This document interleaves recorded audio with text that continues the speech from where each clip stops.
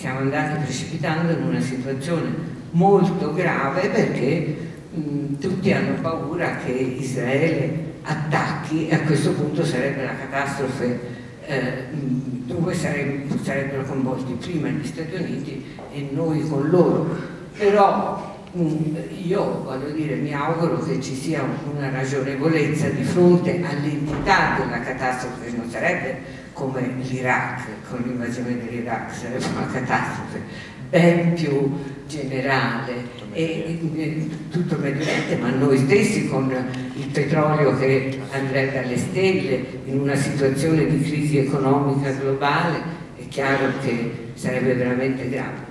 Evidentemente per Israele questo è stato, nell'isolamento in cui Israele si trovava, è stato, come dire, eh, sarebbe un colpo liberatorio, nel senso che a questo punto tutti non possono che stare dalla parte di Israele, però con quali, voglio dire, il, il, secondo me la prima vittima sarebbe proprio Israele, perché questa sarebbe la fine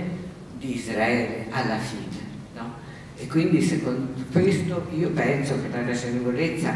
eh, li, li eh, insomma, impedirà che si faccia una cosa così. Però questo è un periodo molto delicato perché è il periodo in cui gli Stati Uniti sono, mm, voglio dire, mm, con le mani legate perché c'è un periodo di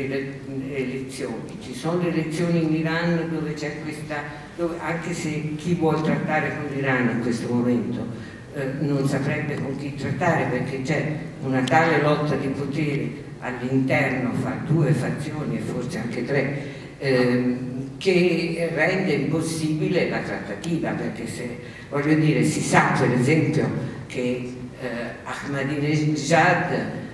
alla fine vorrebbe trattare perché questo gli darebbe un tale consenso nel paese che lo renderebbe più forte, gli altri non lo permettono, quindi c'è una situazione veramente complessa.